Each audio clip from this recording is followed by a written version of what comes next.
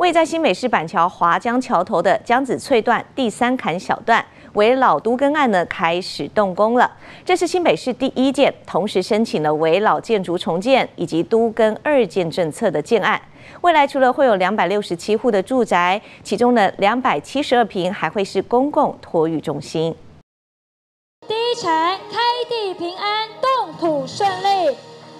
板桥将此翠段第三坎小段的围老都更案正式开工，预计新建一栋地下六层、地上三十五层，一共两百六十七户的集合住宅。而这里就在华江桥头，属于板桥都市计划的住宅区。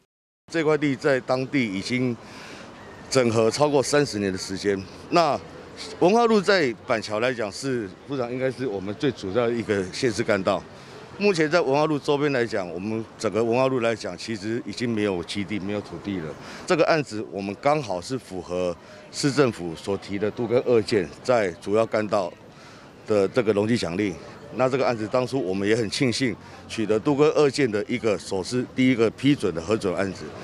经过新北市政府审核，未来会有将近两百七十二平的公共托育中心，也会推缩四米空间，提供舒适的步行环境。这个案子。原来是呃这个围绕，再加上要在这个主要道路的两边，所以也符合都跟二建，所以这两个啊的奖励啊可以加